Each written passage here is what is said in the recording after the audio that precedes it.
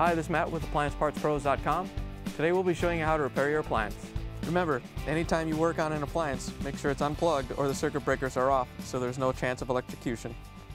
In this video, we're going to show you how to change out the Maytag dryer drive motor. It's going to be a very easy repair and should only take a few minutes to show you how to do it.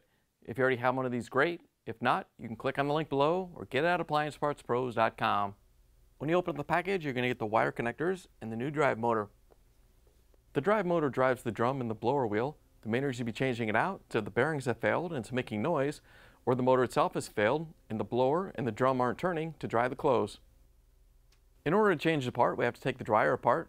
First thing we're going to do is take out the lower screws with a Phillips screwdriver so we can remove the front panel.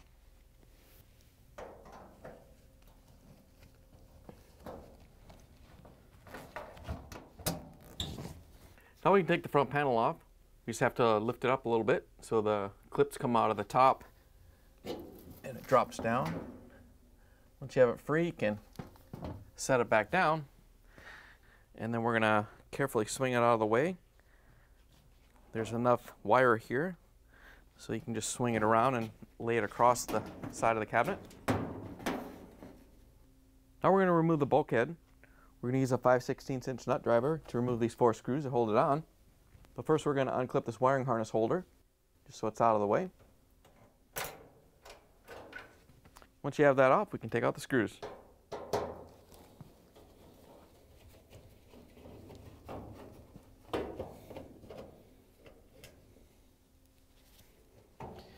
Once you have the screws out, we can carefully lift the bulkhead off. We're going to swing it aside, just like the front panel. Set it on the side.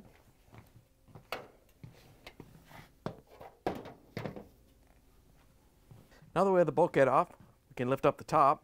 There's a screw on each side that holds it in. We're going to use a ratchet with an extension and a 3 8 inch socket to reach in and take them out.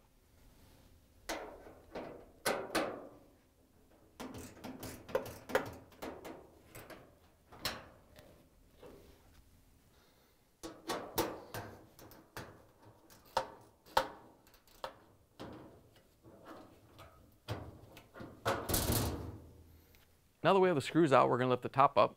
There's no hinges on this particular style the top, so you can put a towel across the front and lean it against the wall behind the dryer. We're going to lift it up and use a lanyard to support it because we don't have a wall behind us. So we're just going to take the lanyard, hook it in the frame, and then hook it on the top.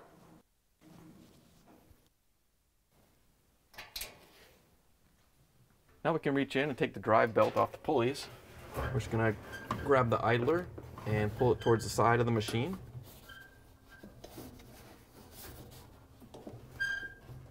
And then take the belt off the idler and the motor pulley.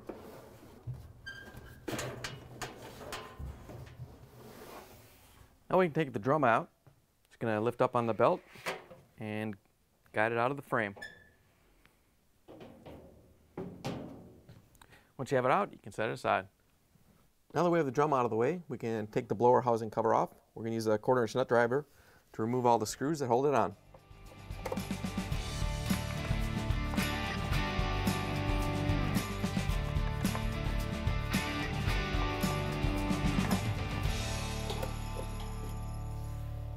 Once you have those out, we have to remove the screw that holds it to the bottom of the dryer. We're going to use a 5 16 nut driver to take that out. Once you have all the screws out, you can lift it off and just swing it out of the way. Now that we have the cover off, we have access to the blower wheel. It's held down by a clamp. We're going to reach in with the needle nose pliers and compress it to open it up.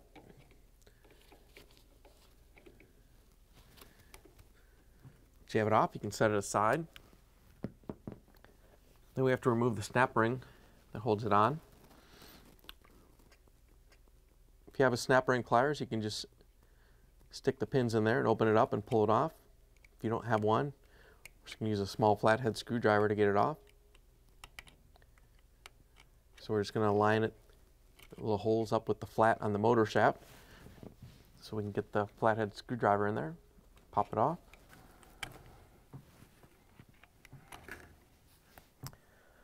Once you have it off, you can set it aside. Once you have the snap ring off, we can just grab the blower wheel and pull it off the motor shaft. Once you have it off, you can set it aside. Now that we have access to the motor, we can see what type of motor switch it has. This is the old style one with all the individual wires on it. If you already have the new style motor switch, then all you have to do is unplug the wire harness from it and swap the motor out.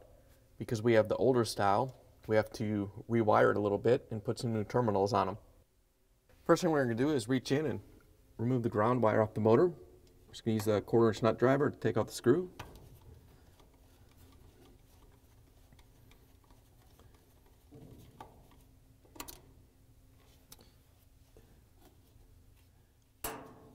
Then we're going to remove the clamps that hold the motor down.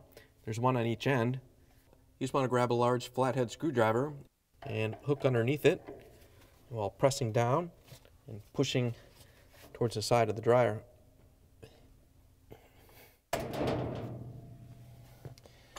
Once you have one side off, you can just unhook the other side and pull it out. The other one comes off the same way.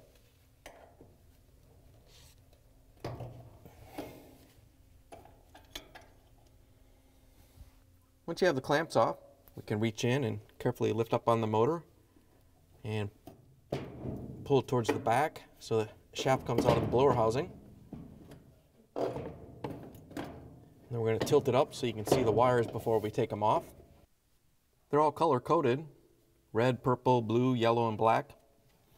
So we're to reach in, and take them off with a needle nose pliers.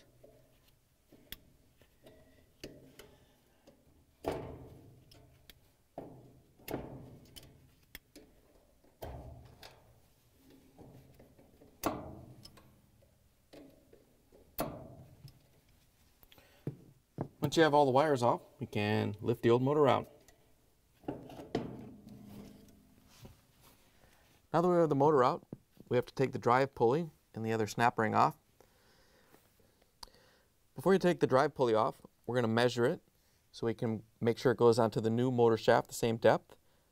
You want to make sure that the paper goes all the way in and goes against the bearing right there. And then you want to mark it right here You can use that a, as a measurement later. Should be about 3 eighths of an inch. Then we're going to use a 3 16 inch Allen wrench to loosen up the set screw. Should be in there pretty good, so you may have to get some pretty good leverage on it.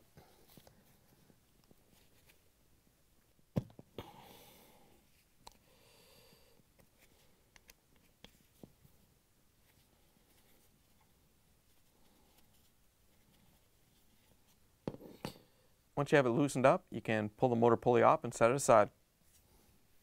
To remove the snap ring, if you have the snap ring pliers, all you have to do is spread it apart and take it off. If you just have a flathead screwdriver, can do the same thing and make sure it's lined up with the flat on the motor shaft and just kind of get it out of the groove. Once you have it out of the groove, you can just slide it up the shaft.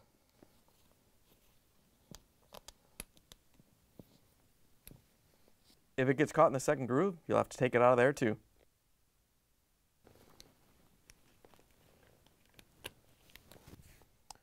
Once you have it off, you can set it aside.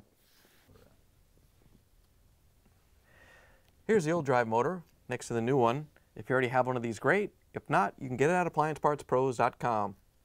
Here's the instruction sheet that tells you how to identify what motor switch you have and also the wiring instructions that show you how to change over from the old style to the new style. There's also a couple notes down here, and you are going to have to splice on a couple wires. We're going to show you how to do it on the model that we have. Yours may be a little bit different, so make sure you look at the instructions. Before we put the new motor in, we have to put the snap ring and the pulley on. We're just going to slide it over the shaft. Remember, if you got the little snap ring pliers, you can just use the little pins and stretch out the snap ring and slide it on. Otherwise, you're just going to have to work it on with a flathead screwdriver.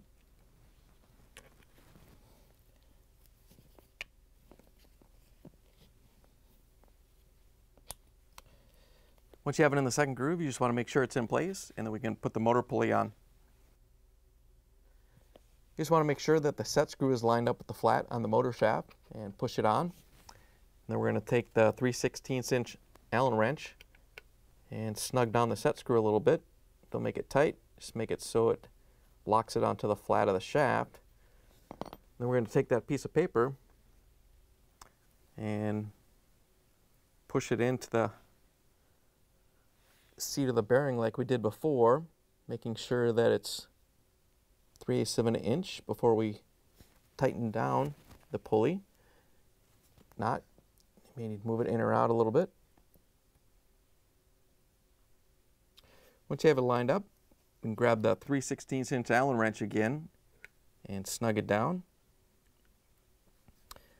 Then we're going to tighten it down. You want to make sure you tighten this down pretty good. This has to be tight enough so it doesn't come loose and the pulley falls off and your belt falls off.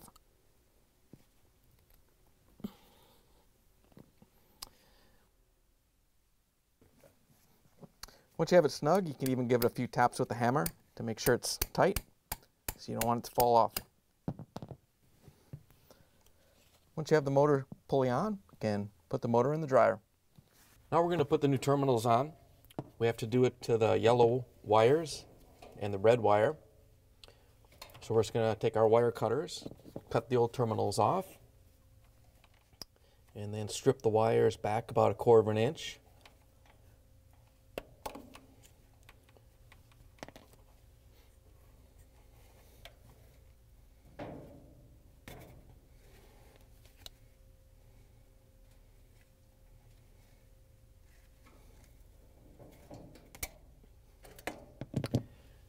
And since this is a double one, I want to make sure the wires are together.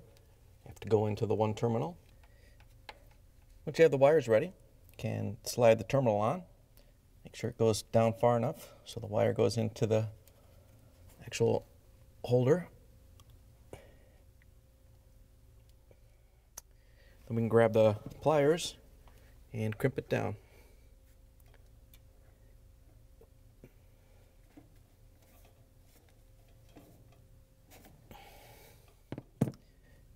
Once you have it crimped down so it's secure, we can do the red one.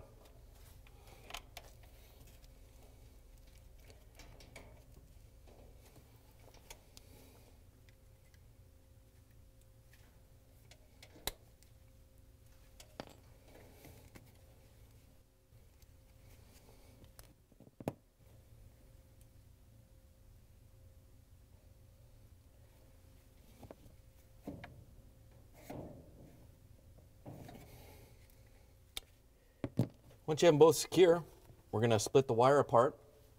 On the old one, on our model, the gray went over to the left side of the motor. But since it's going to go to the protector, we're going to make sure it stays over on the right side when we put the motor in. Now we're going to set the motor back in place real quick. Not all the way in, we're just going to set it here and use the quarter inch nut driver to put the grounding screw back in. Just want to grab the wire and line it up. Tighten it down.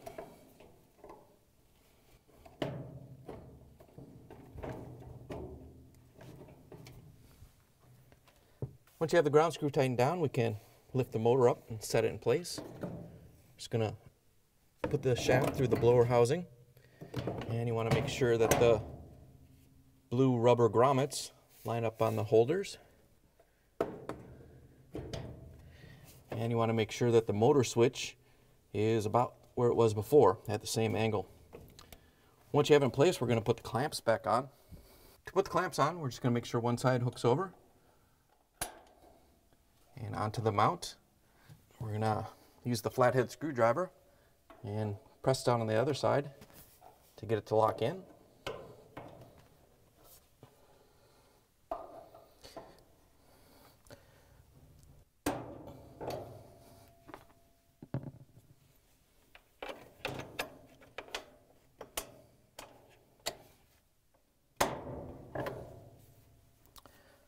Once you have it locked in place, we can connect the wires. According to the instruction sheet, we have to remove the jumper wire that goes from the protector to the motor switch. So we're going to use a needle nose pliers to take it off.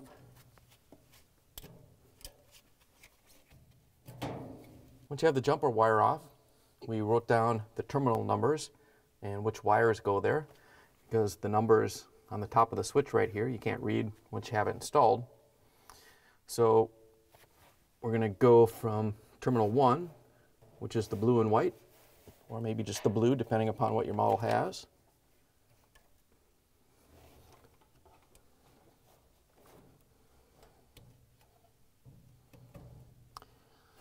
And the second one we're not going to use. And we're going to hook the red one to terminal number 5.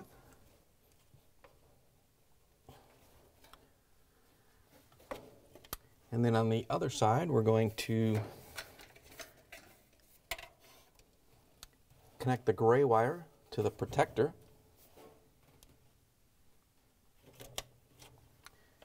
And we're going to have the yellow wire to number 6.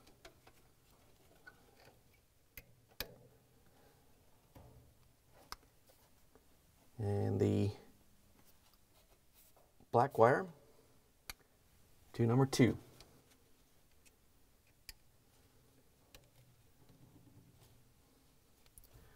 want to double check and make sure you have everything hooked up the way the instructions said. Once you're sure you do, you can put the dryer back together.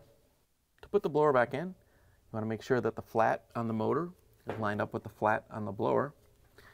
Push it back into place. Once you have it in place, we can put the snap ring back on. If you have the pliers, you can just use that. If you have the flathead screwdriver, you can just put the snap ring in, in the groove and then stretch it around so it goes in the rest of the way.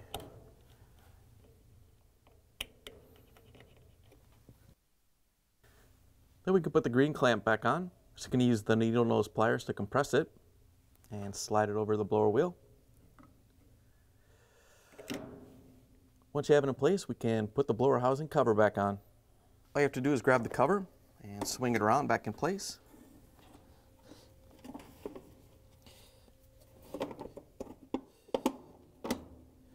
Once you have it lined up, we can use the quarter inch nut driver to put all the screws in.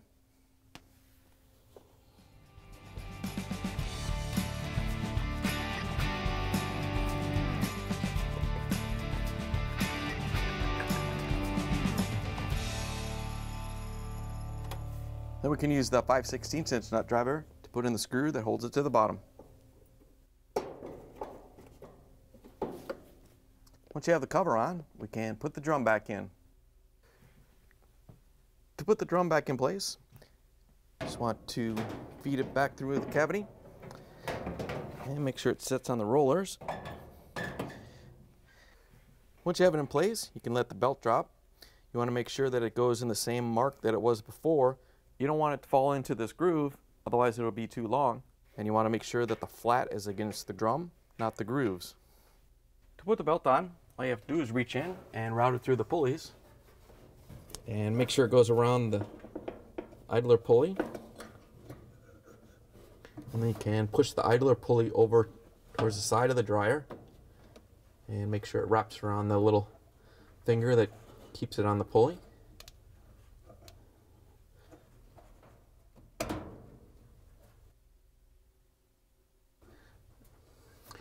Then you want to take the other end of the belt and loop it around the motor pulley.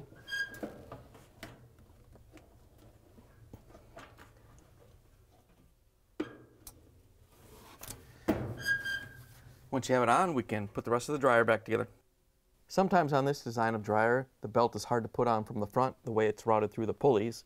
So some of the models actually had an access panel on the back where you could access it that way. So if you're having problems doing it through the front, you can always check to see if you have an access panel and then pull the dryer out and do it from the back if it's easier. Before we put the bulkhead back on, we're just going to grab the wire harness clip that we let drop down earlier and bring it up here so we can put it on later. Then we can grab the bulkhead and line up the duct at the bottom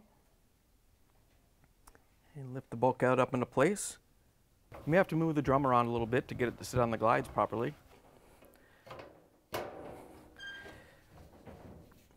Once you have the bulkhead in place, we can use the 5 16 inch nut driver to put the screws in.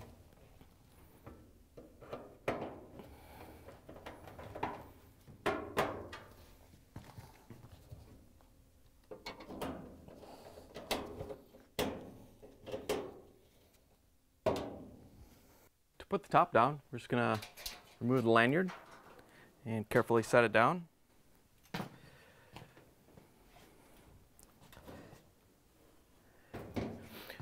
Once you have it down and lined up, we can put the screws back in. We're going to use the ratchet with the extension and the 3 8 inch socket to put the screws back in that hold the top on.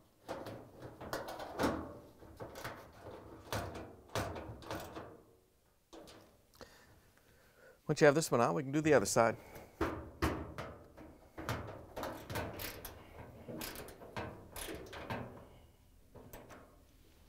Before we put the front panel back on, we're just going to put the little wire holder in. The wires are held in place.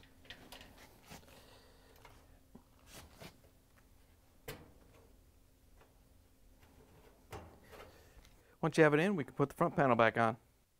To put it back on, we're just going to swing it back around into place.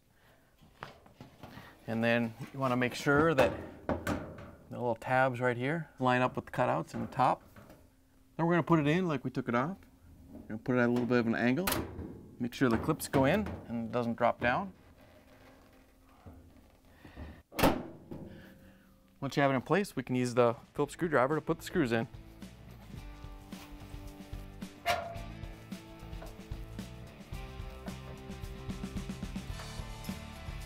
Once you have the dryer put back together, you can plug it back in and, and take it for a spin.